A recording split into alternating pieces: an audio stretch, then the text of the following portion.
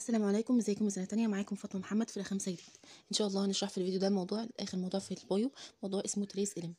إحنا قبل كده كنا قسمنا ال element ل major أو principal element في minor أو trace element وفي ultra trace element. هنتكلم النهارده عن ال trace element. trace element هم كام؟ هم حوالي سبعة. السبعة هم إيه؟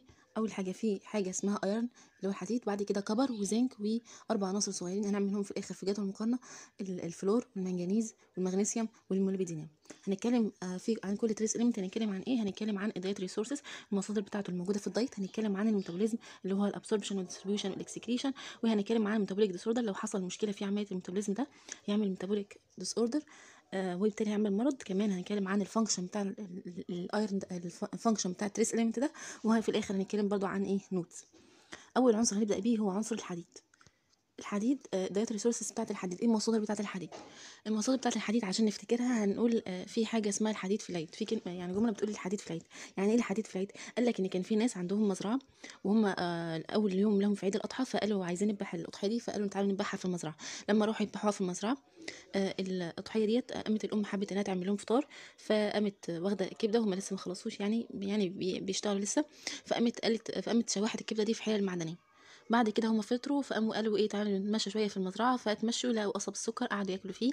بعد كده قاموا قاموا الحمد لله خلصوا ذبحوهم قاموا روحوا وبعد كده لما روحوا قالوا إيه قال- قالت الأم تعمل لهم غدا فقامت عملت لهم لحمة وسبانخ. إيه الهدف من الكلام ده كله؟ إن أنا أعرف إيه المصادر بتاعة الحديد. المصادر بتاعة الحديد اللي هم إيه ال leafy vegetables وال jaggery ال liver وال meat وكمان لو أنا عملت cooking أو طبخ فيه iron utensils فتاني؟ يبقى إيه المصادر بتاعة الحديد أول حاجة إن في liver الكبدة تمام؟ ال liver بعد كده إن في ال- ال meat اللحمة. ال liver حوالي 5 مللي جرام آه، لكل 100 جرام. أما ال meat حوالي 2 مللي جرام لكل 100 جرام. كمان ال leafy vegetables اللي هو زي السبانخ ال leafy vegetables حوالي 20 مللي جرام لكل 100 مللي 100 جرام. وكمان القصب السكر اللي هو ال- ال jaggery قصب السكر اللي هو ال jaggery وكمان لو أنا طبخت في iron utensils يعني في حلة معدنية ده هي- هيعمل إيه؟ هيعمل هي improve ال content بتاعة ال iron الموجودة في الايه في الوجبة دي. بعد كده هنتكلم عن عن رابع حاجة هو ال milk اللبن. قال لك إن ال milk ده يعتبر very poor source للحديد مش مصدر كويس قوي للحديد. آه، هنعرف إن ال milk ما يعتبرش مصدر للحديد آه، عشان سببين. أول سبب أول سبب إن هو يعتبر very poor source يعني ال content بتاعه الحديد في اللبن. يعني كمية الحديد الموجودة في اللبن حوالي أقل من واحد من عشرة مللي جرام لكل 100 مللي آه، من اللبن. وكمان في سبب تاني في سبب تاني هناخده في ال factors اللي عامل بتاثر على ال absorption بتاع الحديد.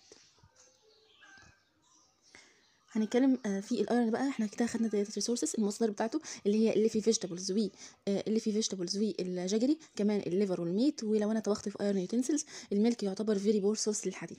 بالنسبة بقى لل distribution بتاع الحديد ال distribution بتاعة الحديد هناخد إن في حاجة اسمها total body iron يعني إيه total body iron يعني كمية الحديد الكلية الموجودة في الجسم. total body iron يعني كمية الحديد الكلية الموجودة في الجسم. هي حوالي كام؟ حوالي 3 ل 5 جرام. الدكتورة قالت عشان نسهل علينا في الحفظ نفتكر إن ال iron بيتكون من أربع حروف فبالتالي ال total body iron حوالي 4 جرام. يبقى ال total body iron حوالي 4 جرام. آه بعد كده هناخد إحنا دلوقتي كده عرفنا ال total body iron يعني كمية ال iron الموجودة في الجسم كام. هناخد بقى التوزيع بتاعة ال iron ده. ال iron ده بيتوزع فين؟ هو بيتوزع حوالي 75% والباقي بيتوزع في منطقه معينه ال 75% من ال iron ده بيروح فين؟ بيروح في ال blood ماشي؟ توزع في ال blood والباقي اللي هو ال- الباقي باقي النسبة ديت هيحصل لها هتتخزن في باقي الجسم. في باقي الجسم فين؟ عشان نقول إن الجسم يعتبر كأنه بيلم باقي الحديد فهنفتكر هنفتكرها بكلمة يعني BLM ال BLM دي الأماكن التانية اللي هيتم تخزين فيها الحديد. زي إيه؟ زي ال- ال B اللي هو ال bone marrow ال L اللي هو ال liver وال M اللي هي إيه؟ ال muscles تمام يبقى إحنا كده عرفنا ال total body iron حوالي 4 جرام حوالي 75% منهم موجودين في ال blood والباقي موجودين في ال bone marrow. وال liver والمصل بعد كده هناخد إحنا دلوقتي كده عرفنا ال total body iron distribution بعد كده هناخد آه، هو بيبقى موجود على هيئة إيه في الجسم؟ موجود على هيئة حاجة اسمها هيموجلوبين موجود على هيئة حاجة اسمها myoglobin موجود كمان على هيئة حاجة اسمها فيريتين الهيموجلوبين حوالي 75% ال myoglobin حوالي 5% الفيريتين حوالي 15% تعالوا كده نشوف الكلام ده تاني. يبقى ال iron ال total body iron ال iron آه، برضو نعرف برضو ملحوظة إن ال iron موجود في كل الخلايا مش موجود في خلايا واحدة معينة. يبقى ال iron present in all cells كمان ال iron ده بيدخل في تركيب مادة اسمها هيموجلوبين. والهيموجلوبين حو... هي حجمها قد إيه أو ال content بتاعها قد إيه؟ حوالي 14 ونص جرام من يعني ال blood لو أنا جبت 100 مللي blood هلاقي إن هو 14 ونص جرام منه هيموجلوبين. يبقى ال iron ال distribution بتاعته ال total body iron عرفناها إن ال iron ملحوظة إن ال iron موجود في كل الخلايا all cells إن ال blood بيحتوي على 14 ونص جرام من الهيموجلوبين لكل 100 مللي blood توزيعة الحديد اللي هم حوالي 3 ل 5 جرام أو 4 75% من موجودين في ال blood الباقي موجود في ال bone marrow وال liver والمصل. الهيئة بتاعته موجود على هيئة حاجة اسمها هيموجلوبين و ferritin و myoglobin الهيموجلوبين 75 الفريتين 15 وال myoglobin حوالي إيه؟ 5 كده إحنا خدنا في ال iron distribution و dietary source. هنتكلم بعد كده عن إيه؟ هنتكلم عن ال iron metabolism. اللي هو إيه؟ ال absorption وال distribution metabolism وال excretion الامتصاص بتاع الحديد بيحصل فين؟ الحديد بيحصل امتصاص في ال duodenum ال duodenum اللي هي الاثنى عشر في ال upper part بتاع ال duodenum آه الامتصاص بتاع الحديد بيحصل عن طريق ال intestinal ال intestinal cells دي الخلايا وفي أربع عوامل بتأثر على الامتصاص بتاع الحديد.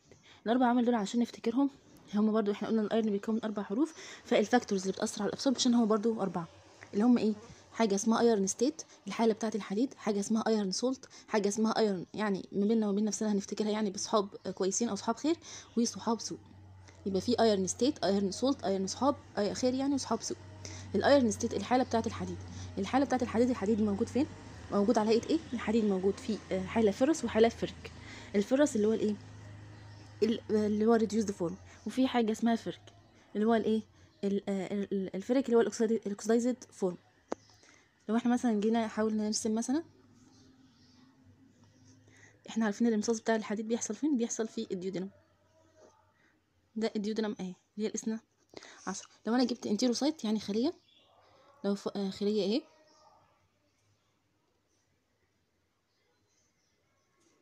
تمام؟ الامتصاص بتاع الحديد هيحصل فين؟ هيحصل في خلال ال enterocyte دي. تمام؟ إيه العوامل بتأثر؟ يعني دلوقتي ده لو المفروض إن هو ال lumen الحديد. الحديد أول حاجة ممكن يكون موجود على هيئه ferric وممكن يكون موجود على هيئه ferrous. عشان يحصل له امتصاص لازم يكون موجود على هيئه ferrous. وهنعرف إزاي بيحصل؟ إزاي لو هي ferric بتتحول ل ferrous. يبقى اول حاجة لو هو موجود على هيئه ferrous ده هيسهل امتصاص الحديد. تمام؟ إيه كمان؟ قال لك لو هو ما كونش salt لو ال iron ده لوحده مش ماسك مع حاجة. لو ال iron ده ماسك مع آه salt مثلا زي حاجة اسمها ال phytic acid أو كده ده هيمنع ال absorption بتاعه ده هيمنع الامتصاص بتاع الإيه؟ الحديد. كمان لو ال iron دوت ليه صحاب كويسين وفيه صحاب مش كويسين. إيه أو صحاب يعني صحاب خير وصحاب آه سوء. الصحاب الخير الصحاب الخير اللي هم إيه؟ اللي هم حاجة اسمها ascorbic acid اللي هو حاجة اسمها ال ascorbic acid ascorbic acid ماشي؟ وكمان ال SH group بتاعة ال proteins وكمان الاتش سي ال اللي هو الاتش سي ال وكمان موجودين وكمان برضو السيستين. الحاجات دي كلها بتحسن امتصاص الحديد.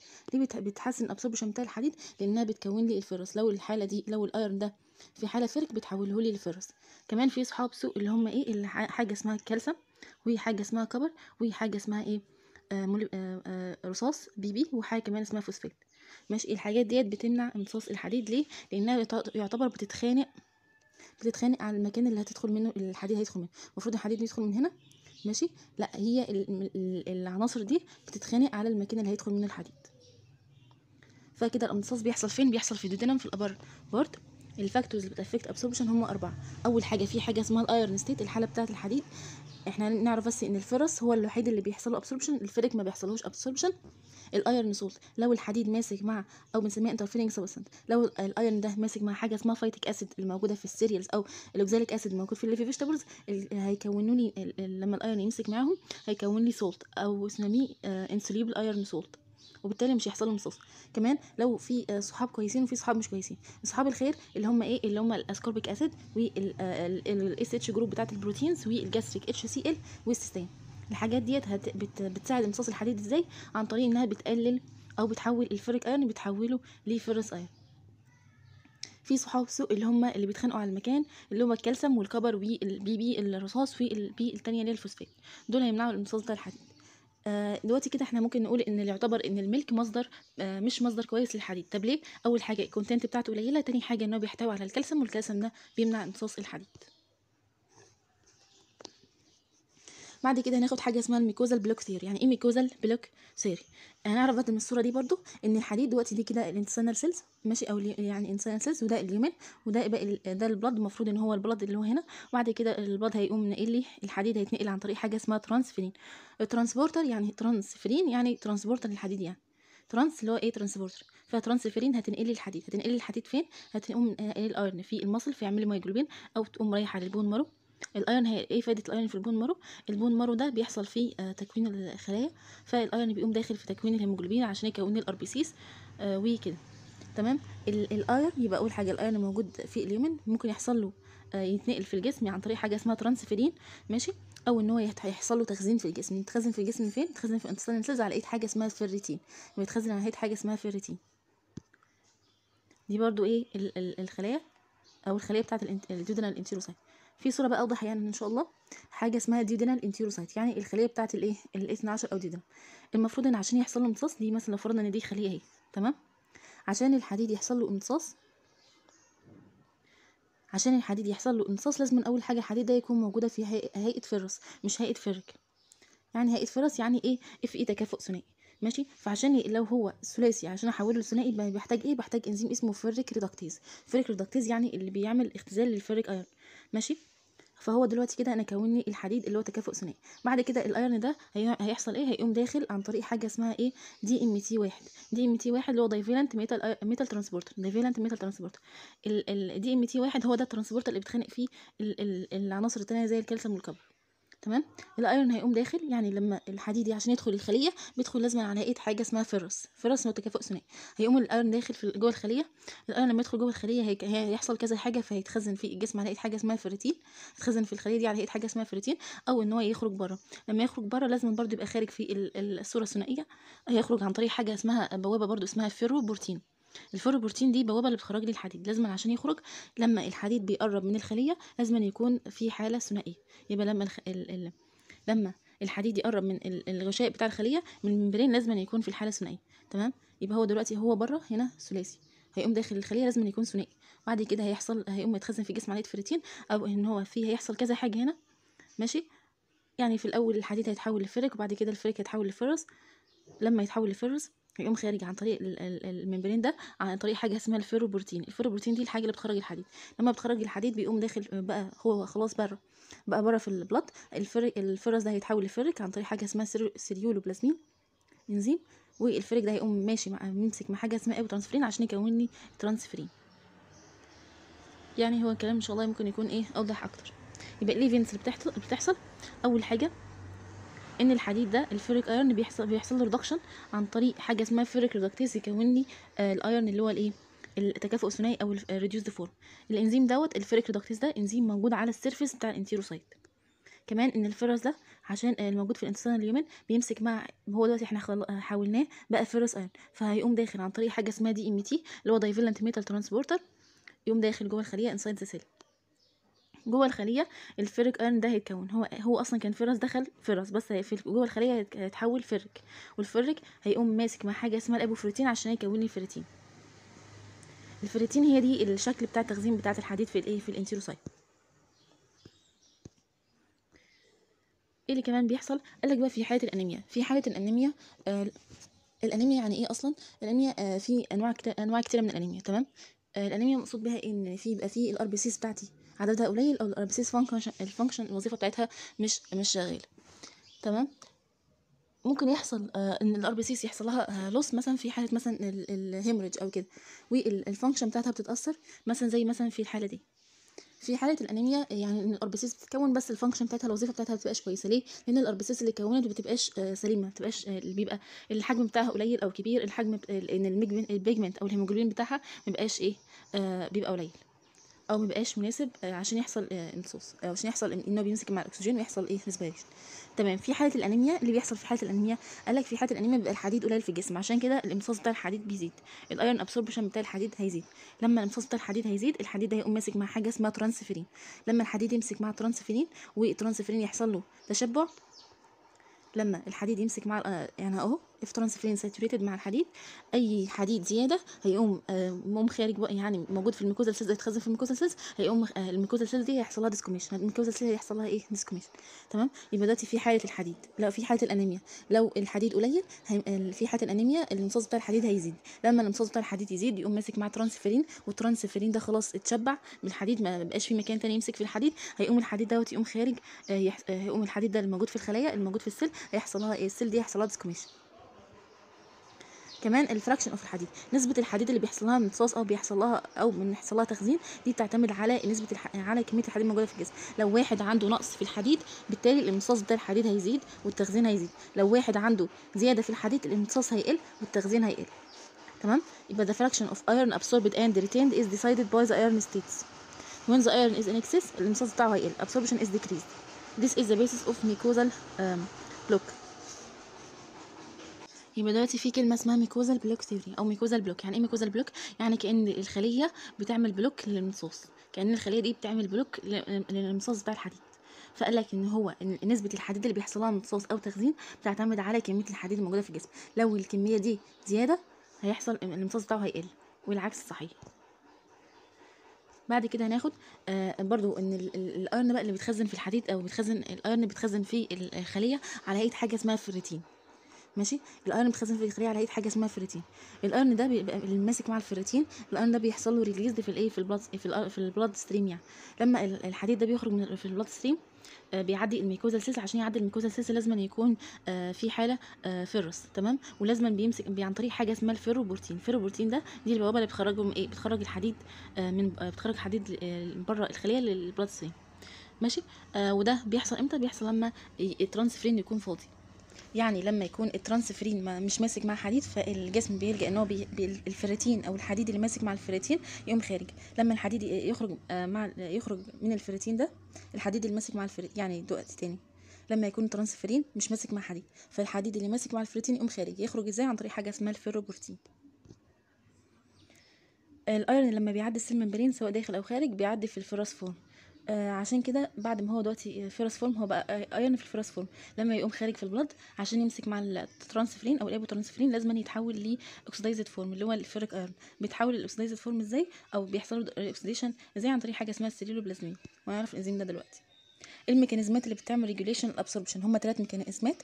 أول ميكانيزم حاجة اسمها ال mucosa regulation حاجة اسمها store regulation حاجة اسمها ال erythropoietic regulation ال mucosa regulation إزاي؟ عن طريق إن الخلية نفسها هي اللي بتتحكم أو ال ال يعني ال- ال- ال mucosa cell نفسها هي اللي بيحصل لها آه بيتحكم في عملية الامتصاص والايه آه الامتصاص بتاعة الحديد. إحنا عارفين إن ال mucosa cells ليها بوابتين. في بوابة هنا بوابة هنا وفي بوابة هنا. البوابة هنا دي اسمها DMT اللي هو divalent metal transport والبوابة هنا اللي هي اسمها ferroportin تمام؟ عشان آه، آه، يدخل الحديد أو يخرج الحديد يعني بيحصل إزاي؟ يعني عشان الحديد يدخل أو يخرج عن طريق البوابتين دول. تمام؟ دلوقتي بقى لما بيبقى في مشكلة زي مثلا إن الحديد ال- إن ال- البوابتين دول مش مش شغالين. إن البوابتين دول مش شغالين. أو البوابت- البوابتين دول مش موجودين أصلا. تمام؟ ده بيحصل إزاي؟ يعني ال DMT وال ferroportin دول بيحصل لهم آه، بي آه، بيحصل لهم down regulation عن طريق حاجة اسمها ال hepcidin. ال hepcidin بيبقى مهم. ال hepcidin ده إنزيم أو ال hepcidin ده بروتين مادة بت- بيحصل لها يعني اللي بيعملها ال liver تمام؟ المادة دي المفروض إنها بتعمل down regulation للبوابتين دول. انها بتعمل down regulation يعني إيه؟ يعني بت بتظبط أو بت بت بتقلل التصنيع بتاع الايه؟ البوابتين دول. فلما بالتالي لما التصنيع بتاع البوابتين دول هيقل ده هيزود الايه؟ أو هيقلل الامتصاص بتاع الحديد. تمام؟ عشان يبقى إحنا آه، نقول إن ال iron absorption بيحتاج ال DMT وال ferroportin والتصنيع الاثنين بروتين دول بيحتاج بيحصل له down regulation بال hepcidin ال hepcidin ده ده بيحصل له secretion من ال liver. تمام؟ في كمان store regulation store regulation يعني المخزن بتاع المخزن اللي هو في الحديد اللي هو اسمه إيه؟ فيرتين لما المخزن بتاع الحديد ده يقل لما المخزن بتاع الحديد ده يقل الامتصاص هيزيد ولا هيقل؟ الامتصاص هيزيد عشان أنا عايزة أكون المخزن عايزة أملى المخزن. فلما ال body iron stores fall اللي هو الفيرتين يعني لما يقل ال mucosa بت signal آه ال mucosa بتزود امتصاص الحديد. ال mucosa نفسها بتقول إيه؟ آه زودي امتصاص الحديد. كمان عملية حاجة اسمها ال erythropoietic regulation ال erythropoietic regulation يعني إيه erythropoietic أصلا يعني عملية تكوين كرات الدم الحمراء. ال erythropoietic يعني عملية تكوين آه، كرات الدم الحمراء أو ال RBCs يعني. تمام. قالك في حالة الأنيميا لما يكون ال- أنا عايزة أنا عايزة في حالة الأنيميا أنا ببقى عايزة أكون RBCs تمام. فال erythroid cells دي هي اللي بتتحول لل RBCs في الآخر.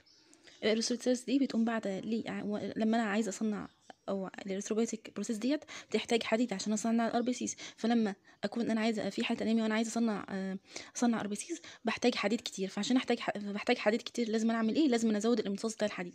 هيزود ال iron absorption ده بيحصل إزاي؟ ال erythropoietic regulation عن طريق عن طريق حاجة اسمها الاريثروبيوتين من ال kidney يبقى تاني يبقى ال mechanism اللي بيعمل regulation absorption هما ثلاثة mechanism. mucosa regulation و store regulation وال erythropoietic regulation ال mucosa regulation إزاي عن طريق إن الامتصاص بتاع الحديد بيحتاج بوابتين حاجة اسمها DMT وحاجة اسمها ال ferroportin تصنيعهم بيحتاج حاجة اسمها بيح- بيحصلوا down regulation بحاجة اسمها ال hepcidin. ال hepcidin ده إيه؟ ال hepcidin دوت peptide بيحصل له secretion بال liver. لما ال ال الكمية بتاعة ال- ال hepcidin دوت بيعمل بي- بيمنع الاثنين دول بيمنع التصنيع بتاعهم. فبالتالي لما ال- ال- الامتصاص بتاع الحديد بيزيد معنى كده إن البوابتين شغالين كويس يبقى ده هيزيد. ولما يكون ال- الامتصاص بتاع الحديد قليل أو البوابتين دول مش شغالين كويس ال hepcidin ده هيقل. فقال لك إيه؟ hepcidin a peptide secreted by the liver when the body iron surface are adequate. If there لو في hypoxia أو في انيميا تصنيع ال hepcidin دوت هيقل. عشان كده ال ferroportin synthesis هيزيد. ال store regulation قال لك لما يكون ال body iron stores بتقل الامتصاص بتاعت بتاعت ال- ال iron هيزيد. وال erythropoietic regulation لما في حالة الأنيميا ال erythroid cells هتعمل هتبعت إشارة لل- آه، لل mucosa عن طريق حاجة اسمها الاريثروبايتين وده بيحصل له secretion من من ال kidney ال iron transport in the blood and uptake by cells إزاي بيحصل ال- الحديد ده بيتنقل آه، في ال blood وبيحصل له uptake by cells إزاي؟ إحنا قلنا ان transport form الحديد عشان يتنقل في ال blood لازم يمسك مع حاجة اسمها apotransferrin عشان نكون لي حاجة اسمها ترانسفيرين. طب أنا عايزة أفتكر الترانسفيرين ولا الفريتين هما transport form. ال trans من كلمة transporter. ف transferrin هو ال- الهيئة أو transport form بتاعة الحديد. ترانسفيرين ده هو اللي بينقل الحديد بينقل الحديد آه آه عن طريق الدم ينقله لي الاماكن اللي أنا محتاج آه إن أنا أخزن فيها أو أحتاج فيها حديد. ف transport form of iron هو ترانسفيرين. هو glycoprotein beta واحد جلوبولين ال normal plasma level النسبة الطبيعية بتاعه الترانسفيرين ده كام؟ حوالي 250 مللي جرام لكل 100 مللي. لما يعني يعني النسبة بتاعه الترانسفيرين ده حوالي 250 مللي جرام لكل 100 مللي دم من كل 100 مللي blood لو ال iron deficiency لو لما الحديد بيقل لما نسبة الحديد تبقى قليلة ال level بتاعه ده هيزيد. طب ليه ال level هيزيد؟ مع إن المفروض إن هو يقل. يبقى تاني في حاجة اسمها ترانسفيرين الترانسفيرين ده transport ده ترانسفيرين ده transport form بتاعت الايه؟ الحديد. الترانسفيرين ده بس نعرف عنه إنه أول حاجة إن هو موجود في 20 آه شكل. يعني في 20 form يعني ماشي؟ كمان إن هو بيمسك مع اتنين ferric atom مع اتنين ferric إيه؟ atom إحنا قلنا إن هو لازم عشان الحديد يتنقل لازم يكون موجودة في حالة الإيه؟ ferric atom تمام؟ آه كمان إن لو في حالة ال iron deficiency لما الحديد بيقل الترانسفيرين بيزيد ليه؟ طب ليه لما الحديد بيقل الترانسفيرين بيزيد ليه؟ الترانسفيرين بيزيد عشان الجسم كأنه بيقول آه، كأن الجسم كأن مع إن المفروض إن الحديد ال Fe ده المفروض إن هو بيمسك مع الترانسفيرين. لما الحديد بيقل الترانسفيرين بيزيد. طب ليه الترانسفيرين بيزيد؟ ده علشان إن كأن الجسم بيقول كأن الجسم بيحسب إن المشكلة عنده إن هو ترانسفيرين قليل مش المشكلة إن الامتصاص بتاع الحديد هو اللي قليل. فالجسم بيعوض إن هو بيزود الترانسفيرين. يعني ال trans لما يكون في iron deficiency transferrin بيزيد. ليه؟ لأن الجسم بيحسب إن المشكلة عنده آه وإن المشكلة هي نقص الترانسفيرين. بس المشكلة هي نقص الإيه؟ ال iron كمان أنا كمان هناخد حاجة اسمها total iron binding capacity يعني إيه total iron binding capacity يعني ال capacity القدرة إن هو الترانسفيرين يمسك مع الإيه؟ مع الحديد. لو إحنا مثلا فرضنا مثلا ده شكل حاجة اسمها transferrin و transferrin بيمسك مع أربع مثلا إيه؟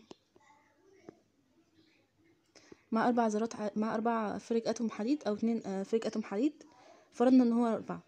ماشي؟ ال total iron binding capacity لما ال- الحديد ده بيقل ده المفروض إن هو يبقى ماسك مع الحديد. إحنا قلنا الترانسفيرين ماسك آه، ماسك مع اتنين آه، fer- ferric atom. فاحنا مثلا قلنا إن الحديد قليل لما الحديد يبقى قليل المفروض إن الحديد يبقى ماسك هنا. لما الحديد يقل وبالتالي مفيش حد ماسك هنا ال capacity أو القدرة إن هو يمسك مع حديد تاني هتزيد. لأن مثلا بدل مكان فاضي بقى اتنين مكانين فاضيين. ال total iron binding capacity يعني القدرة إن هو يمسك في الحديد. لما يكون الحديد قليل وهو مش ماسك مع حديد القدرة إن هو يمسك في الحديد هتزيد. طب أما لو هو الحديد زيادة والحديد overdose يعني أو overload من الحديد ال- ال- الحديد دلوقتي كده مفيش مكان الترانسفيرين كده ملهوش مكان فاضي. ده اسمه ترانسفيرين. ماشي؟ الترانسفيرين ما- مفيش مكان فاضي يمسك فيه. عشان كده ال capacity بتقل. يبقى ال total iron binding capacity في البلازما حوالي 400 مللي جرام لكل 100 مللي. ودي بتتعمل عن طريق transferrin. transferrin بيمسك مع ال iron atom آه، أو ال ferric atom. ماشي؟ لما يكون ال- ال- الحديد قليل ال capacity هتزيد. لما يكون الحديد زيادة capacity هتقل. ماشي؟ آه في ال blood آه نعرف برضو إن في حاجة اسمها ال ceruloplasmin ده إنزيم اللي بيعمل oxidation لل ferrous ال ferrous بيحوله ل ferric وال ferric يقوم ماسك مع ترانسفيرين ويك- ويكون أو ال apotransferrin يكون ترانسفيرين. يبقى في حاجة اسمها total iron binding capacity القدرة إن هو بتاع الترانسفير إن هو يمسك مع الحديد. لما يكون الحديد قليل معنى كده إن مفيش حد ماسك آه، معاه فمعنى كده إن هو في مكان فاضي فبالتالي ال capacity هتزيد. ال iron deficiency anemia في حالة iron deficiency anemia يعني في نقص للحديد. لما الحديد بيقل معنى كده الترانسفيرين مش ماسك مع حد. طب ال transferrin level هيزيد ولا هيقل؟ ال transferrin level هيزيد. طب ليه هيزيد؟ لأن الحديد لأن الجسم بيحسب إن المشكلة عنده إن اللي بينقل هو القليل بس المشكلة مش إن اللي بينقل هو القليل المشكلة إن الحديد هو القليل فال transferrin level هيزيد ال capacity هتزيد لأن بقى في أماكن فاضية كتيرة. ال serum iron level ده طبعا هيقل. لما iron deficiency anemia يعني ال iron قليل فبالتالي هيبقى قليل في السيرم كمان الترانسفيرين ده عنده ال life ال half life بتاعته حوالي 17 أيام ال storage بتاعت ال iron أو الشكل بتاع ال iron اللي بيحصل له تخزين بيتخزن على هيئه إيه؟ بيتخزن على هيئه حاجة اسمها الفيريتين الفيريتين ده ممكن أشوف فين؟ موجود في ال intestine ال mucosa cells في الخلايا بتاعت ال- ال- ال mucosa. موجود برضو في ال liver موجود برضو في ال spleen وفي ال bone إيه؟ marrow ال apoferritin دوت آه، اللي هو ال apoferritin بيقوم ماسك مع ال ferric iron عشان يكون لي ال ferritin ال apoferritin ده لسه ما مسكش مع حديد.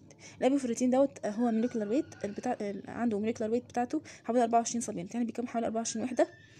وان هو ممكن يمسك مع يعني الفيريتين بيحتوي على 23% من ال iron وإن هو ممكن ي take up 4000 iron atom اللي أنا عايزة أعرفه هنا إيه ال storage بتاع ال iron إن هو ال storage بتاع ال iron بيحصل عن طريق حاجة اسمها الفيريتين آه. أول حاجة إن ال apoferritin بيقوم ماسك مع ال iron في اللي هو ال ferric ويكون لي ال ferritin ال ferritin بقى موجود فين؟ في الانتستينال ميكوزا سيلز والليفر والسبلين والبون مارو الأيرن فانكشن إيه الوظيفة بتاعه الحديد؟ الوظيفة بتاعه الحديد إن هو بيدخل في تكوين حاجة مواد اسمها hemoproteins زي إيه؟ زي حاجة اسمها الهيموجلوبين.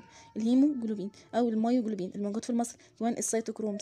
كمان موجود فيه حاجة إنزيمات زي حاجة اسمها catalase وال peroxidase و tryptophan tryptophan dioxygenase و tryptophan py- pyrrolase.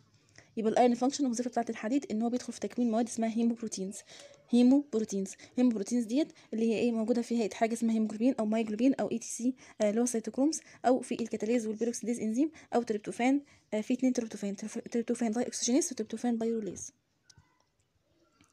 ال important note بقى إن ال ferritin level موجود في ال blood هو يعتبر آه، ده مؤشر للتخزين بتاع الحديد. يعني ده ال- ال- الصورة بتاعة التخزين بتاع الحديد. فلما ال ferritin level بيزيد معنى كده إن التخزين بتاع الحديد كويس. ماشي؟ كمان قال لك إن ال ferritin level ده برضو ملحوظة إن هو بيزيد في حالات الالتهابات في حالات ال inflammation أو inflammatory disorder في كمان حاجة اسمها ال hemosiderin دي صورة تانية من التخزين بتاع الحديد. بيقدر إن هو يمسك مع 35% من ال iron آه weight آه ال hemosiderin ده ممكن يحصل إن هو بيتجمع في أماكن معينة في الجسم وهيعمل إيه؟ أعراض ويعمل صبغات في الجسم وهنعرفها بعدين. يبقى إحنا عايزين نعرف هنا إيه؟ إن ال ferritin level الموجود في ال blood ده يعتبر مؤشر لل iron stores المخازن الم- المخازن أو التخزين بتاع الحديد.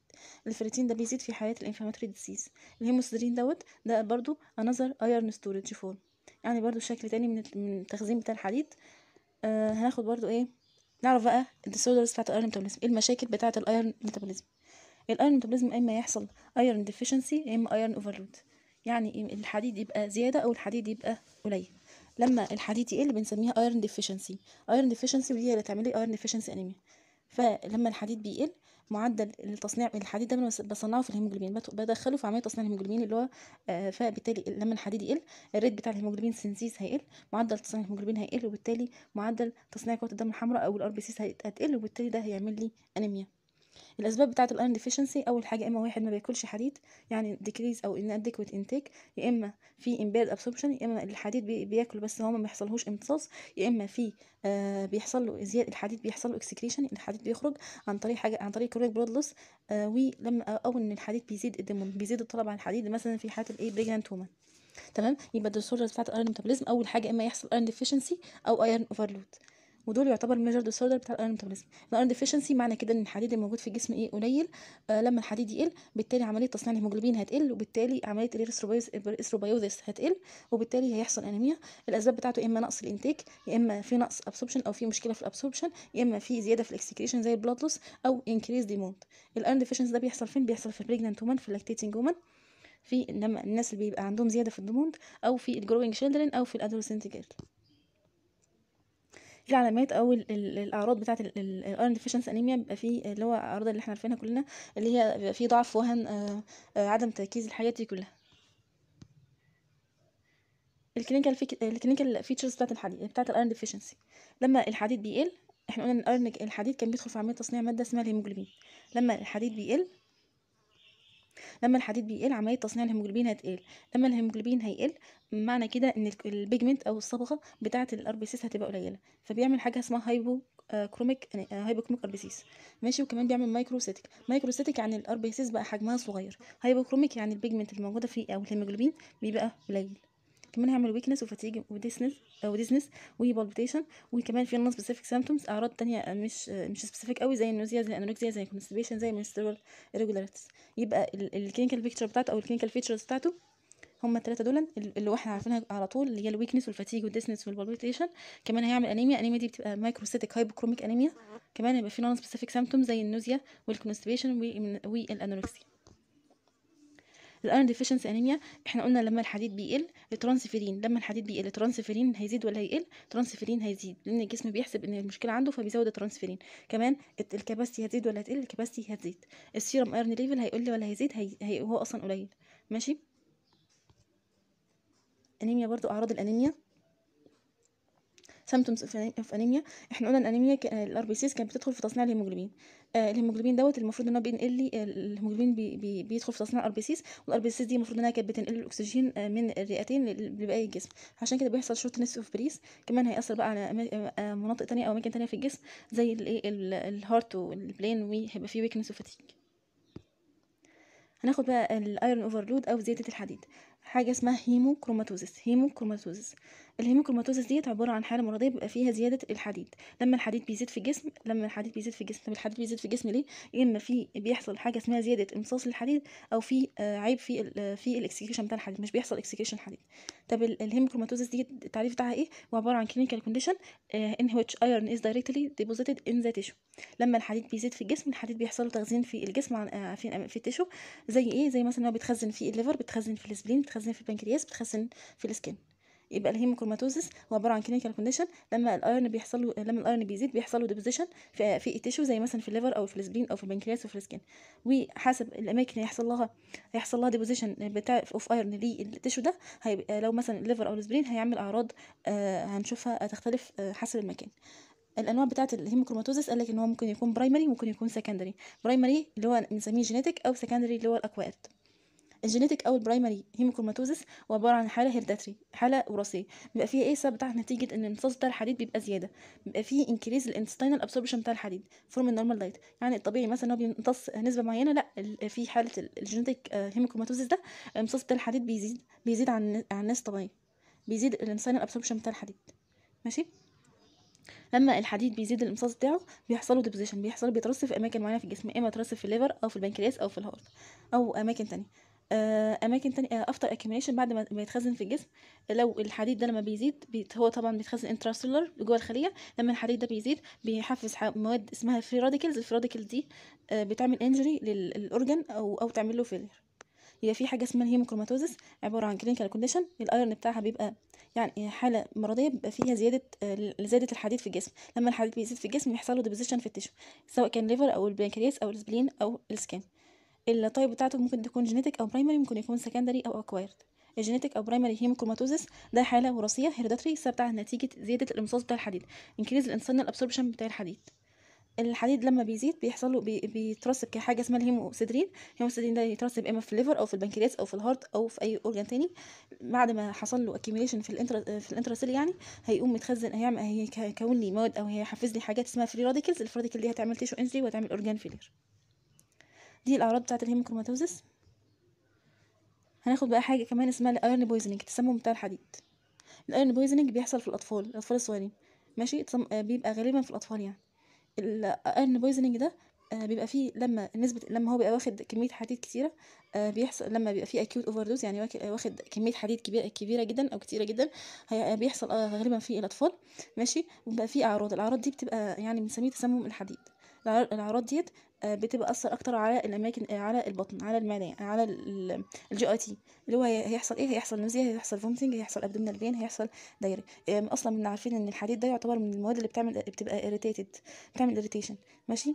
فممكن تعمل irritation ال GIT فبالتالي ممكن إن هو يرجع يعمل vomiting أو يبقى في diarrhea أو كمان يبقى في abdominal pain يبقى ال iron poisoning بيحصل في الأطفال آه غالبا في الأطفال.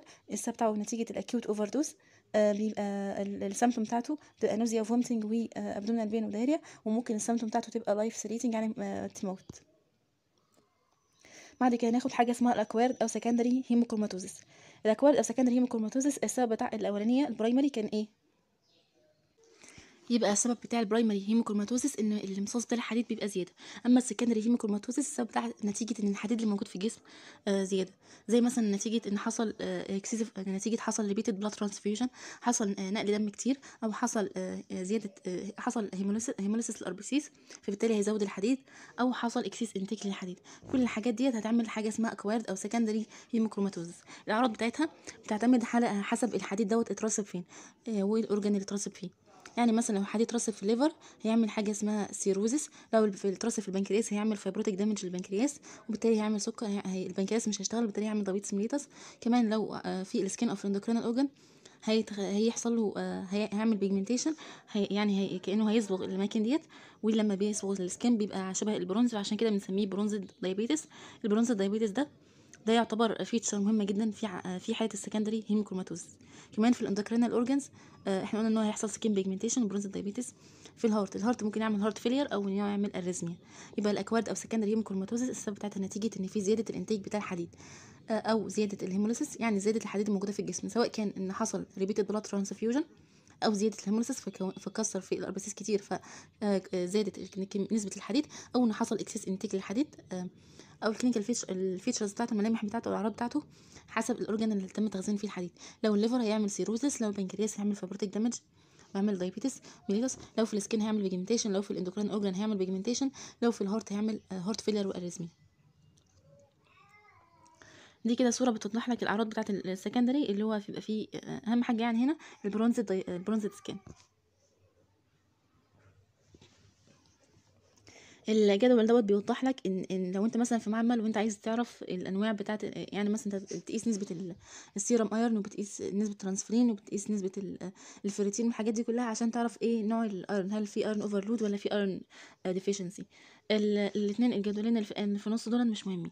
فهناخد الإيه؟ الأولاني والاخراني في حالة ال iron deficiency لو في حاله iron deficiency هل ال serum iron بيبقى زيادة ولا قليل؟ بيبقى قليل.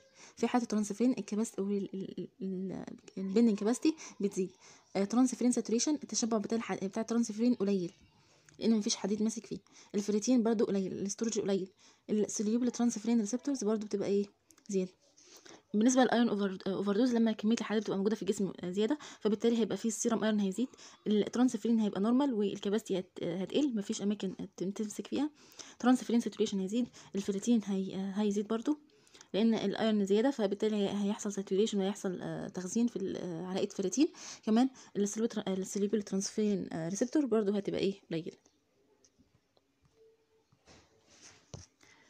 في بقى في بقى أسئلة بتقول لك إيه؟ آه تعالوا كده نقرا أول سؤال. في حالة ال iron deficiency anemia في حالة ال iron deficiency anemia اختار يعني اختار حاجة من من, الأربعة دول صح. هل A A ولا B ولا C ولا D في حالة ال iron deficiency anemia معنى كده إن ال serum iron أو ال plasma iron هيبقى قليل ولا هيزيد هيبقى قليل. تمام. ال capacity هتزيد ولا هتقل هتبقى هي زياده يعني ال plasma iron decrease وال capacity هتزيد. في حالة قال لك إن ال hemoprotein بيشمل كل حاجة include all the following فيما عدا ال myoglobin ولا الهيموجلوبين ولا ترانسفيرين؟ ال hemoprotein بيشمل كل حاجة ما عدا ال transferrin ال iron عشان يحصل له امتصاص لازم يكون موجود في حالة إيه؟ في ال ferrous state صح ولا غلط؟ صح. في حالة ال soluble form؟ صح. في of animal origin لا ده مش شرط. يبقى الإجابة الصحيحة both A and B. يبقى هنا الإجابة الصحيحة دي وهنا الاجابه الصحيحه C وهنا الاجابه الصحيحه إيه B بعد كده هناخد ال case ديت. الحالة دي بتقول لك إيه؟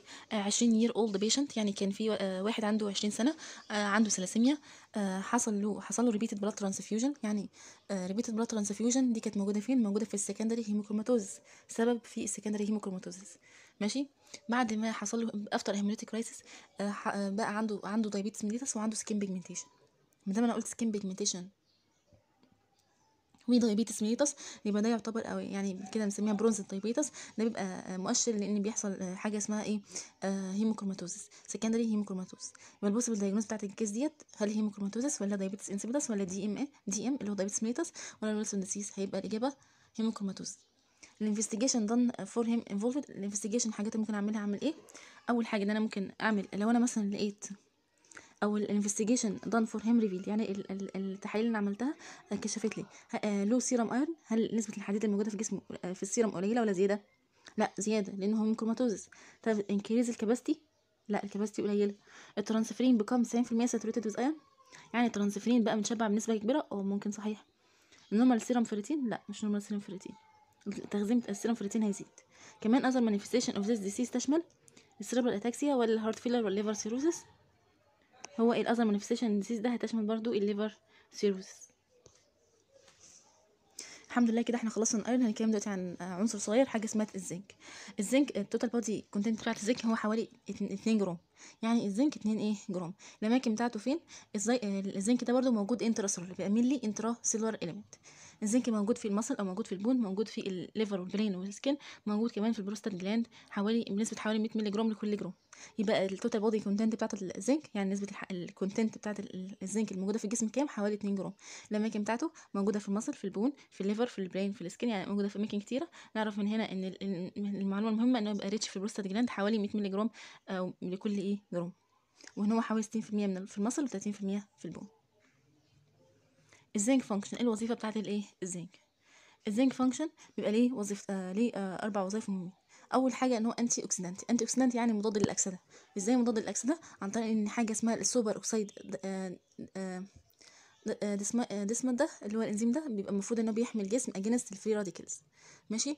يبقى هو ال anti الزنك ده يعتبر antioxidant كمان إنه الزنك ده بيبقى ليه دور في فيتامين A الزنك ده بيبقى necessary عشان ي maintain ال normal level بتاع الفيتامين A إحنا هناخد آه، بعد كده في حاجة اسمها السيلينيوم السيلينيوم ده بيبقى ليه دور في الفيتامين E أما الزنك فيتامين A A عشان نفتكرها سيلينيوم E زنك A يعني Z أو آخر Z آخر حرف و آه، أول إيه حرف. يبقى الزنك يبقى ليه دور آه، بإن هو بي maintain ال normal level بتاع الفيتامين A وإن هو ليه دور كمان إن هو antioxidant آه، بالنسبة للبنكرياس الزنك برضو بيبقى مهم في ال beta cells عشان هو بي- بيبقى ليه دور في ال storage وال secretion بتاع الإنسولين. ده بيحتاج زنك كمان بيبقى ليه دور في تصنيع ال RBP بيحتاج إيه؟ زنك اللي هو في الموجودة في ال retina تمام؟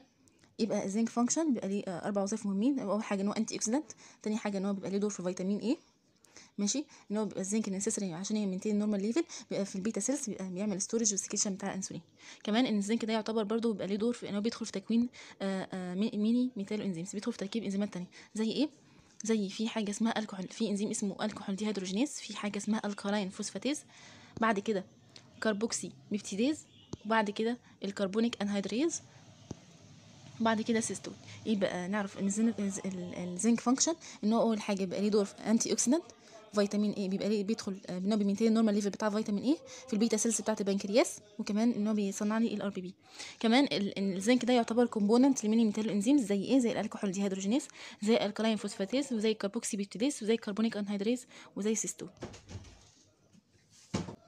وظيفة زيادة للزنك كمان إن هو بيدخل في عملية ال DNA وال RNA synthesis عن طريق إن هو بيعمل إن هو بيدخل في ال DNA وال RNA polymerase enzyme يبقى زنك function أول حاجة إن هو antioxidant فيتامين A بي maintain ال normal level في البنكرياس. كمان إن هو بيبقى بيبقى component ل many metalloenzyme زي alcohol dehydrogenase alkaline phosphatase وال carboxypeptidase وال carbonic anhydrase وال cytosol وكمان بيدخل في ال DNA وال RNA synthesis عن طريق إن هو بيدخل في ال DNA وال RNA polymerase كمان بقى في سؤال بقى أسئلة يعني هناخدها عن الزنك أول حاجة بيقول لك السؤال بيقول لك all true uh, all the following are true about zinc. كل الجمل دي صحيحة عن الزنك فيما عدا total body content بتاعت الزنك 2 جرام. آه إجابة صحيحة. تمام. ال present in the liver and brain وال skin آه صحيح. موجودين 60% في ال bone لا هو 60% في ال muscle 30% في ال bone ال prostate gland has rich in zinc يبقى الإجابة اللي هي تعتبر except ليها هي تبقى آه، رقم C اللي هو آه، 60% موجودين في ال bone لا هي 30% في ال bone كمان سؤال بيقول لك إيه؟ All the following are true about zinc function. فيما عدا كل الحاجات دي صحيحة فيما عدا الزنك آه، في فيما يخص الزنك function فيما عدا أول حاجة إن الزنك بيبقى من necessary maintain ال normal level بتاع الفيتامين E فيتامين E ولا فيتامين A كان بيبقى مهم عشان يعمل maintain ال normal level بتاع فيتامين A السيلينيوم هو الفيتامين E عنده antioxidant action be involved في DNA synthesis صحيح وال storage وال secretion بتاع الانسولين require zinc يبقى هي الإجابة اللي هتبقى except هي آه A كده إحنا الحمد لله خلصنا ال- الزنك وال iron دلوقتي هنتكلم عن ال copper. ال copper برضو يعتبر يعني آه كبير شوية عن الزنك.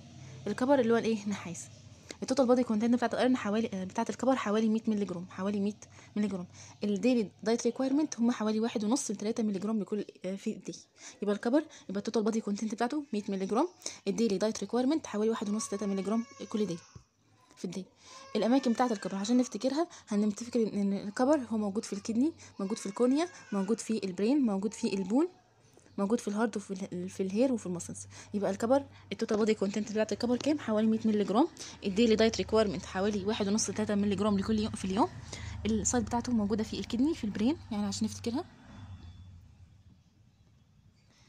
يعني كأن ال C أو D كأنها تقرأ كأنها كيف فبنقول kidney ال B دي اللي هي مثلا brain وال B التانية اللي هي الايه ال bone وكمان موجود في ال heart وال hair وال muscles بالنسبة لل diet resources هي شبه الحديد إن هو موجود في حالة ال liver وال meat كمان موجود في ال cereals وال leafy vegetables وموجود في ال nuts لو أنا افتكرت ال liver وال meat وال leafy vegetables يبقى حلو قوي ال enzymes اللي بتحتوي على ال copper هم كام؟ هم آه هم برضو آه كتير. فإحنا هناخد منهم إيه؟ هناخد في إنزيمين بتوع حرف ال C وفي إنزيم يعني عشان نفتكرهم الإنزيمات اللي بتحتوي على ال copper هنفتكر إن في إنزيمين أولهم حرف ال C وفي إنزيم فيهم إنزيمين فيهم آه O.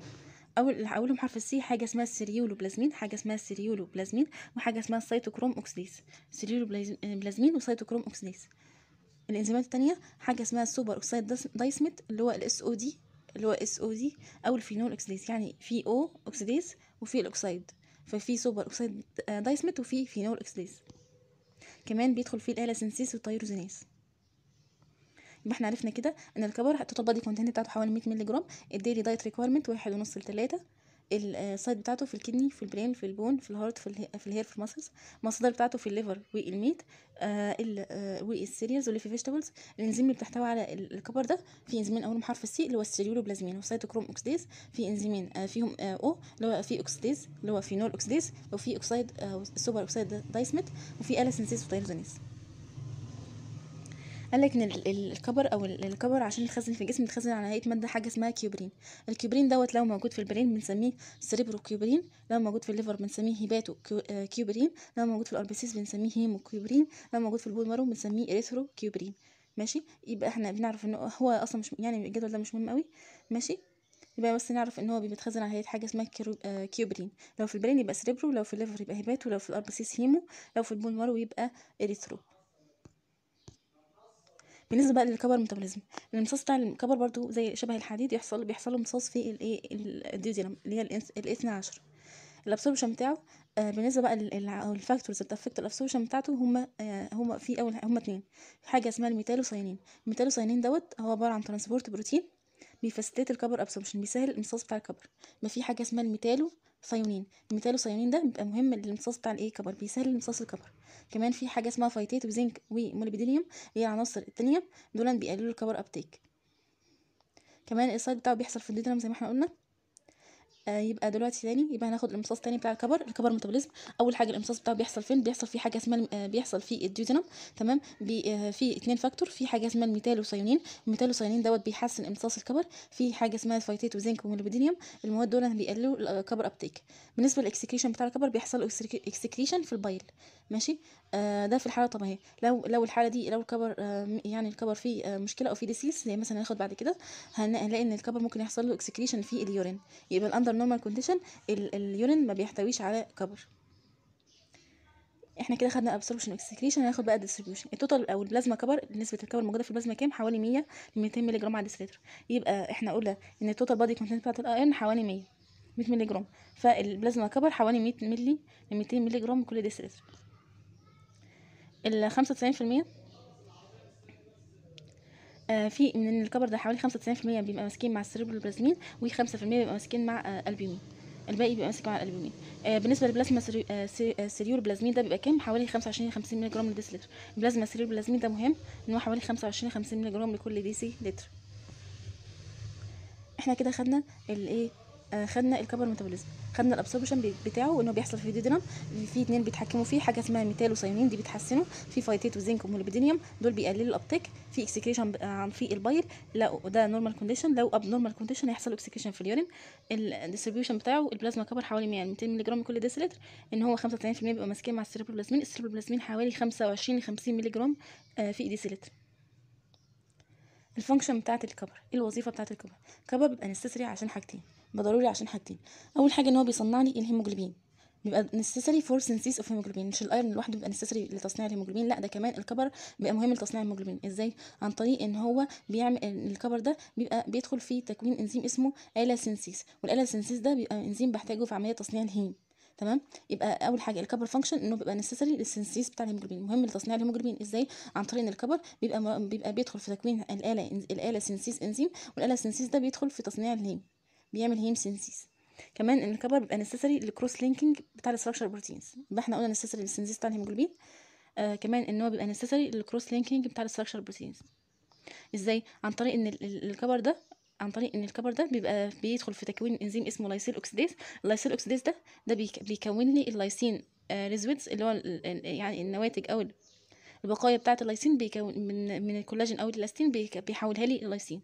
يبقى ال copper function إن هو بيبقى necessary لل synthesis بتاع الهيموجلوبين مهم لتصنيع الهيموجلوبين ومهم لل cross linking بتاع ال structure proteins إزاي؟ عن طريق إن اللايسين أو ال copper بيدخل في تصنيع ال lysyl oxidase ال lysyl oxidase ده بيحول لي ال lysine residues اللي بيحولها لي للايسين. هناخد بقى الأمراض اللي بتحصل أو ال metabolic disorder اللي هتعمل لي يعني لما بيحصل metabolic disorder هيعمل لي أمراض.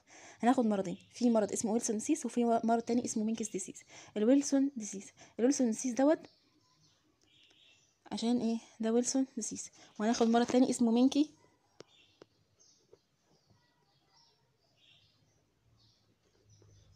Menkes disease هنعرف بس قبل حاجة أول حاجة بس قبل ما نقول نتكلم فيهم يعني. من أول حاجة. ال Wilson disease لو أنا مثلا جيت قريتها بالحروف ال W الأول ولا ال M ال M هي الأول تمام؟ وال W دي في الآخر تمام؟ فعشان كده لما بيحصل defect هنا المقصود بال defect هنا في الجين بيبقى في ال defect في جين اسمه ATP 7 a. يبقى بما إن حرف ال M بيبقى سابق حرف ال W فال defect في حرف ال A بيبقى في defect في جين اسمه ATP 7 a gene أما في الويلسون بما إن ال W ده آخر حرف فهو يبقى موجود في ال A ال ATP 7 B gene يبقى في defect في الجين ده. يبقى تاني Menke disease وال Wilson disease الحرف ال M قبل حرف ال W فحرف ال M فبيبقى فيه defect في جين اسمه ATP 7 a ال A الأول. أما ويلسون بيبقى فيه defective gene اسمه 7 B. ال Menkes disease بيبقى المشكلة في إيه؟ بيبقى المشكلة في ال absorption بيبقى فيه مشكلة في الامتصاص بتاع الإيه؟ بتاع ال copper. أما في ال Wilson disease بيبقى فيه مشكلة في ال excretion Wilson excretion Menkes disease في ال absorption ماشي؟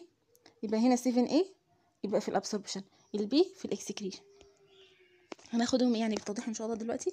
يبقى ال Wilson disease آه نعرف برضه إن هو بيبقى autosomal recessive disease ماشي؟ يعني نتيجة إن يبقى في مشكلة في ال copper metabolism بيبقى autosomal recessive يعني بيبقى آه نتيجة إن في مشكلة في ال autosomal chromosomes وبيبقى recessive يعني متنحي بيبقى defect في في الجين هون حرف ال W ده بيبقى قبل حرف بعد حرف ال M عشان كده بيبقى في defect في الجين اللي هو بعد الايه اللي هو 7 B ATP 7 B gene بيبقى موجود على كروموسوم رقم 13 بيبقى في failure للايه failure إن هو يحصل excretion لل copper. يحصل failure يحصل excretion لل copper الويلسون failure لل excretion أما المنكل للإيه؟ لل absorption كمان إن ال copper دوت لما بيحصل له failure ال excretion ال copper هيبقى موجود في الجسم بنسبة كبيرة عشان كده بيحصل له ترسيب بيترسب في الاماكن المعينه في الجسم. لما بيترسب في ال liver بيعمل progressive liver injury كمان ممكن يترسب في البرين وفي البون وفي الجوينت وفي الكورنيا يبقى دلوقتي في كلمة اسمها Wilson disease Wilson disease ده autosomal recessive disease of copper metabolism إنه بيبقى في defect gene اسمه ATP 7 B gene بيبقى في failure لل excretion بتاع ال copper. كمان ال copper بيعمل إيه؟ بيعمل لما يجمع في الجسم ممكن ي affect ال liver ويعمل progressive liver injury ممكن يأثر على الكدني وعلى البرين وعلى البون وعلى الجوينت وعلى الكورنيا إزاي بقى أشخص ال Wilson disease ال Wilson disease أول حاجة بما إن ما, في ما بيحصلش اكسكريشن الكبر في اليورين في البايل. الكبر ما بيحصلوش اكسكريشن في اليورين. عشان في الكبر ما بيحصلوش اكسكريشن في البايل. تمام؟ عشان كده ال copper بيحصل له excretion في ال urine. فبالتالي بيزيد اليورينري كبر. كمان الكبر بيتخزن في الليفر فبيزود الهيباتيك كبر كونتنت وبيقل طبعا ال serum ceruloplasmin يبقى تاني المشكلة إن لما بيحصل failure ال excrete ال copper في في ال bile. علشان كده ال copper بيقوم خ... يعني ال copper ما بيقدرش ما بيحصلش excretion ال copper في ال bile. عشان كده بيحصل excretion ال copper في ال urine فبيزيد ال urinary copper كمان إن بيعمل ال copper ده لما بيتخزن في ال liver هيعمل هيزود ال hepatic copper content ماشي؟ وهيقل ال serum ceruloplasmin. ال Wilson disease ده بيبقى فيه defect ال gene اسمه ATP 7 B gene على الكروموسوم 13 ال Wilson disease برضه هيأثر على فين؟ يعني مثلا في حاجة اسمها Kayser-Fleischer ring دي بتأثر في الكورنيا نتيجة الايه الديبوزيشن بتاع الكبر الموجودين في في الكورنيا. كمان ممكن يأثر على على ال brain يأثر على ال liver يأثر آه، قلنا ال cornea ويأثر على أماكن تانية زي ال kidney برضه. آه، ال Wilson disease هيأثر على ال heart كمان ويأثر على ال renal بعد كده هناخد حاجة اسمها Menkes disease Menkes disease ده مقصود بيه إيه؟ هو شبه هو هنقارن بينه وبين ويلسون. المينكي بقينا حرف ال M قبل ال W فعشان كده بقى في defect في الجين اللي هو اسمه ATP 7 A gene ATP 7 A gene بقى في failure للايه failure لل absorption ال diagnostic test بتاعت بتاعت ال Menkes disease أول حاجة إن أنا ممكن أعمل إيه؟ آه، أشوف السيرم هشوف ال serum copper level وهشوف آه، بعمل كارج أول حاجة لو أنا عارفة Menkes disease أنا أعرفه عنه إيه؟ disease بيبقى اول حاجة بيبقى فيه defect ال gene اسمه ATP 7 A gene بيبقى فيه failure ان يحصل امتصاص للحديد الامتصاص لل copper. بيبقى فيه مشكلة ان يحصل absorption لل copper. فبالتالي ال- ال copper اللي هيدخل في ال blood circulation أو ال blood stream مش هي- هيبقى قليل. فبالتالي لو أنا شفت ال serum ال copper level هلاقي ان هو قليل ال serum ceruloplasmin برضو ه- يعني diagnostic test اعمل serum ceruloplasmin أو ان أنا اعمل serum copper level كمان آه، إحنا عارفين إن ال copper ممكن يبقى موجود في أماكن معينة في الجسم زي ال skin أو ال skeleton أو في ال bone يعني. ال- هنعمل لو أنا عملت skin culture هلاقي إن نسبة ال copper قليلة. تمام؟ ليه؟ لأنه أصلا ما حصلهوش امتصاص؟ لو أنا عملت آه، في س- skull أو skeleton X-ray هلاقي إن ال- ال- ال skeleton بتاعت آه، يعني تركيبة ال- ال skeleton مش كويسة مش مش سليم.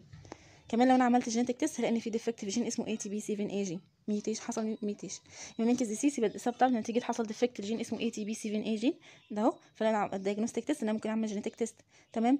آه كمان ممكن إن أنا آه لو أنا طبعا هو ما حصلهوش امتصاص فبالتالي لو أنا شفت السيرم آه copper level أو ال serum ceruloplasmin برضه هلاقي إن في حصل defect كمان آه المفروض إن ال copper بيبقى موجود في مثلا في ال skin وهي ال skull لا بيبقى لو موجود في ال skin آه، هيبقى طبعا مش موجود. فبالتالي لو أنا عملت skin skin cult- skin cell culture هلاقي إن ال copper مش موجود. في ال skull أو في ال skeleton برضه هلاقي إن حصل إيه في defect طب ال treatment بتاع ال Menkes disease معلومة مهمة جدا إن ال Menkes disease عشان اعالجه لازم إن أنا أعالج في الأول. يعني usually only starts يعني helps العلاج بي- بيساعد لما يكون بدأت في ال early course بتاع ال disease. لو أنا بدأت متأخر ممكن ما إيه ما يساعدش في إن هو يحصل treatment كمان العلاج إزاي عن طريق إن أنا بعمل injection بعمل آه، حقن بيه آه، ال copper آه، سواء كان في ال vein سواء كان وريدي أو تحت ال skin وده بيبقى عنده mixed result يعني ممكن disease نعرف برضه إن ال management بتاعته مهمة جدا إن هو بيبقى usually only بيبقى بيساعد بس helps only when started in the very early course of disease ال copper كمان عشان بيحصل ال management إزاي عن طريق بعمل انجكشن للكبر في الفين أو تحت السكن. الدياجنوستيك تيست بتاعته أو إن أنا أعمل serum copper serum copper level أو serum ceruloplasmin أو إن أنا أعمل skin culture أو أعمل skull X-ray أو إن أنا أعمل genetic test لأن في defect ال gene اسمه ATP 7 A gene Menkes disease أول حاجة المفروض إن هو دلوقتي المفروض إن دي جي أو تي حصل آه، ال copper آه، هو طبعا بياكل copper فما حصلش امتصاص لل copper. لما ما حصلش امتصاص لل copper ال copper موجود في skin بقى نسبته قليلة الموجود في ال bone نسبته قليلة والموجود في ال CNS برضه نسبته قليلة. ففي بقى اسئله بتقول لك إيه which of the following enzymes contain copper إيه ال- الإنزيمات ال- إيه الإنزيم الإنزيمات ديت بيبقى فيه بيح- بيحتوي على ال copper؟ هل ال ceruloplasmin ولا ال cytochrome oxidase ولا ال SAD ال SOD ال SOD اللي هو ال superoxide dismutase ولا all of the above هتبقى الإجابة الصحيحه all of the above. تمام. under normal condition في الحالة الطبيعية ال copper excretion بيحصل عن طريق ال normal عن ال bile ولا عن طريق ال urine ولا عن طريق none of the عن طريق ال bile which sentence أي جملة صحيحة. الموليبدينيوم هيزود ال copper uptake؟ لا بيقلل ال copper uptake. ال metallothionein بيزود ال copper uptake؟ صحيح لانها كان بتحسن امتصاص ال copper. ال phytate بيزود ال copper uptake؟ لا بيقلل ال copper uptake. في حالة ال Wilson disease ال Wilson disease اللي هو إحنا قلنا في Menkes وفي ويلسون. ال Menkes اللي هو أول حرف ال M قبل ال W فده هنا في defect في الجين اسمه ATP 7 A أما Wilson defect في الجين اسمه ATP 7 B فهنا بيقول لك ال Wilson disease بيبقى فيه mutation ال gene اللي هو ATP 7 A لا. بقى فيه زيادة ال urinary copper ال Wilson disease بيبقى فيه مشكلة في انه ما بيحصلش بيبقى فيه failure لل excretion فبالتالي هي ال copper هيزيد في هيبقى موجود في ال urine. تمام؟ يبقى الجملة دي B صحيحة. failure to absorb iron بيبقى فيه مشكلة انه يحصل امتصاص الحديد؟ لا. ده بيبقى فيه failure لل excretion all of the لا. يبقى الإجابة الصحيحة urinary copper بيزيد ال urinary copper. في ال Menkes disease ال mutation بتاع الجين اللي هو ال ATP 7 B gene لا. بيبقى فيه mutation لل gene اللي هو اسمه ATP 7 A always helps uh, when started early or uh, late in the course of treatment. يعني دايما بس دايما بيبقى فيه uh, يعني دايما بيبقى فيه uh, نتائج حلوة. لما أنا أعالج في الأول أو في الآخر لا بيبقى usually بيبقى helps لما يكون في ال early course بتاع ال disease مش ال late بيبقى فيه failure ال absorb ال copper. في Menkes disease أو بيبقى فيه failure ال absorb ال copper. في غلط يبقى الإجابة الصحيحة هنا C بعد كده هنتكلم عن الإيه المقارنة اللي هم آخر آخر أربع عناصر صغيرين اللي هم إيه الفلورايد والسيلينيوم والمنجنيز والموليبدينيوم. أول حاجة الفلورايد ده بيعمل الف- الفلورايد ده بي- بيبقى إيه دوره؟ الفلورايد أهو. الفلورايد ده مثلا دي طبعا السن أهي. فالفلورايد بيدخل ال hydration shell ويكون لي حاجة اسمها ال fluorapatite. ال fluorapatite دي بيبقى ليها دور إنها بتبقى بتمنع بتبقى resistant لل bacteria attacks يبقى تاني يبقى الفلورايد بيقوم داخل ال hydration shell يكون لي حاجة اسمها ال fluorapatite. ال fluorapatite ده بيبقى ليه دور إنه بي بيمنع أو بي بي resist ال bacteria ال attacks تعالوا نقرأ كده. الفلورايد enter the hydration shell surrounding the apatite crystals and may become incorporated into the crystal surface.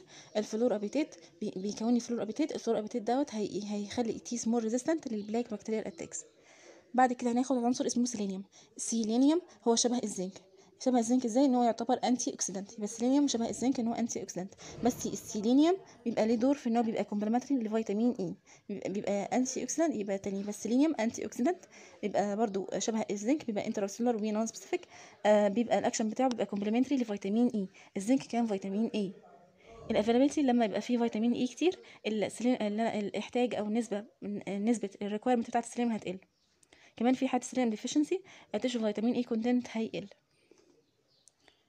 يبقى السيلينيوم بيبقى مهم جدا إن هو بيبقى ليه antioxidant action كمان إنه بيبقى complementary ل vitamin E لما يبقى فيه vitamin E كتير السيلينيوم آه، الاحتياج أو ال requirement بتاعت السيلينيوم بتاع السيلينيوم هتقل.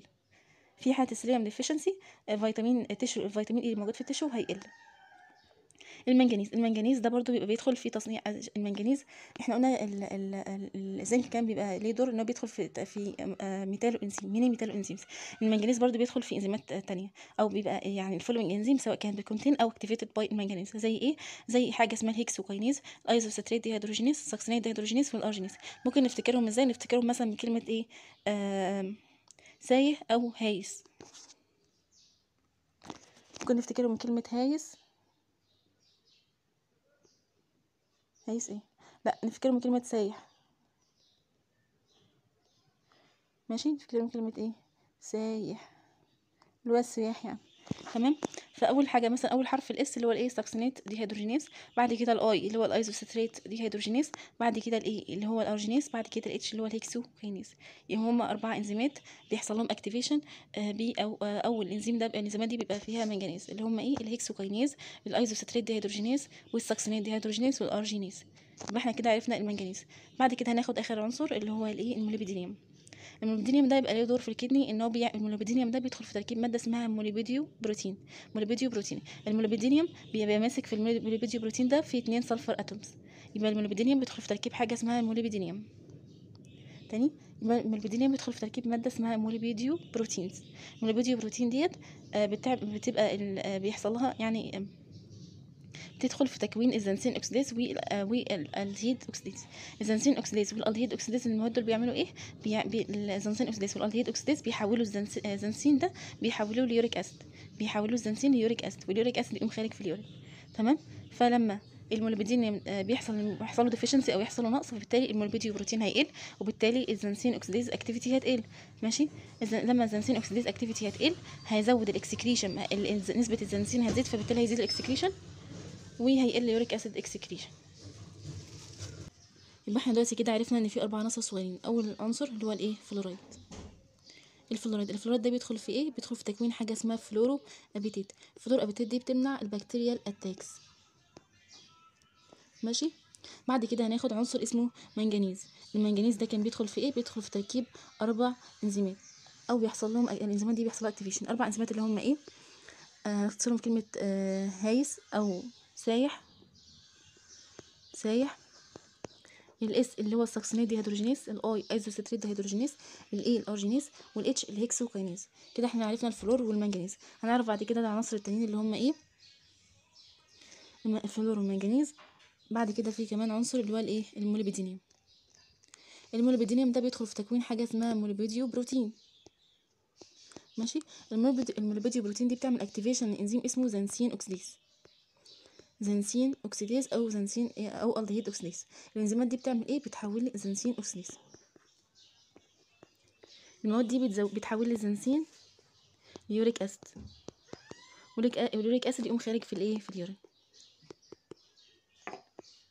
فدلوقتي لما يكون ال molybdenum حصل له deficiency ال molybdoproteins هيحصل لها deficiency ال xanthine oxidase activity هتقل وبالتالي عملية تحويل ال- ال xanthine uric acid هت... مش هتحصل فبالتالي ال xanthine هيزيد وال uric acid هيقل فبالتالي هيزيد ال xanthine آه، في ال urine وهيقل اليوريك في ال urine وهيقل ال xanthine oxidase activity ده بالنسبة للفلور وال molybdenum وال آه، والمنجنيز السيلينيوم ده بقى يعتبر إيه؟ بان إحنا قلنا antioxidant شبه الزنك وبيبقى complementary لفيتامين E الاسئله بقى؟ بيقول لك selenium has a complementary complementary effect ل vitamin E هل هو A ولا B ولا C ولا E vitamin E selenium E vitamin E ده كان الزنك molybdenum deficiency هيعمل إيه هيقلل ال xanthine oxidase activity صح. هيزود excretion بتاع ال xanthine صح. هيقلل ال uric acid excretion صح. هيعمل all of the صح. يبقى هو all of the بعد كده ال following enzymes بتحتوي على either contain or activated by manganese ما عدا هل هو السيرولوبلازمين ولا الهيكسوكاينيز ولا الايزوسيتريد دهيدروجينيز ولا الارجينيز إحنا قلنا سايح فأول اسم مش موجود هنا ال succinate dehydrogenase succinate dehydrogenase مش موجودة. في isocitrate موجودة في ال hexokinase موجودة في ال arginase موجودة يبقى هو ما عدا ال ceruloplasmin